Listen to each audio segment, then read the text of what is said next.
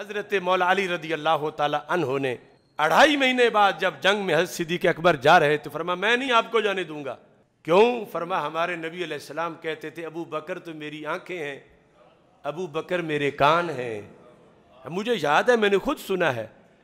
تو سرکار یہ اس دن فرما گئے تھے کہ جب میں بظاہر نہیں ہوں گا تو ابو بکر کے کان ہی امت کی باتیں سنیں گے۔ اور ابو بکر کی آنکھیں ہی نگرانی کریں گی۔ تو کہنے لگے، علی یہ کہتا ہے کہ جو نبی کی آنکھ ہے، وہ علی کی آنکھ ہے۔ اور جو نبی کے کان ہیں، وہ علی کے کان ہیں۔ میں شہید ہو جاؤں، آج کوئی بات نہیں۔ واللہ لئن فجئنا بکا لا یکون للاسلام نظام ابدا۔ آپ گھر بیٹھیں، آپ نہ جہاد پہ جائیں۔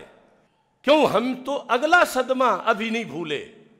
اور اگر آپ آج شہید ہو گئے اتنا جلد، تو پھر ہمیں تجربہ کر کے دین کا کون دکھائے گا؟ لا یکون للاسلام نظام ابدا۔ کبھی نہیں دین اسلام چلے گا آگے۔ وحج نہ اترے اور سرکار کے پڑے ہوئے اسی پڑھائی سے مسئلے حل کریں۔ تو سینہ ابو بکر کا ہوگا تو پھر ہمیں سمجھ آتی رہے گی۔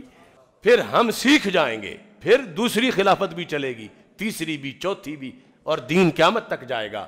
لیکن آج اتنا جلد ابو بکر، آپ ہمیں داغ مفارکت دے گئے تو پھر اسلام کا نظام نہیں چلے گا۔ یہ فیصلہ کن الفاظ ہیں حضرت مولا علی رضی اللہ تعالیٰ عنہ کے، کہ صرف بیعت ہی نہیں کی تھی، بلکہ اتنا ضروری بھی سمجھتے تھے کہ یہ صلاحیتیں ہیں کہ جن کے پیش نظر امت چل سکتی ہے آگے۔ اور کہا، تم گھر بیٹھو۔ یہ علیحدہ بات ہے کہ حضرت صدیق اکبر نہیں رکے، چلے گئے۔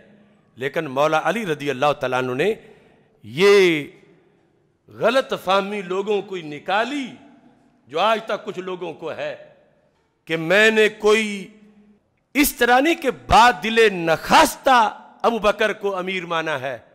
میں نے مستحق سمجھ کے ان کی بیعت کی ہے۔ دنیا میں لگا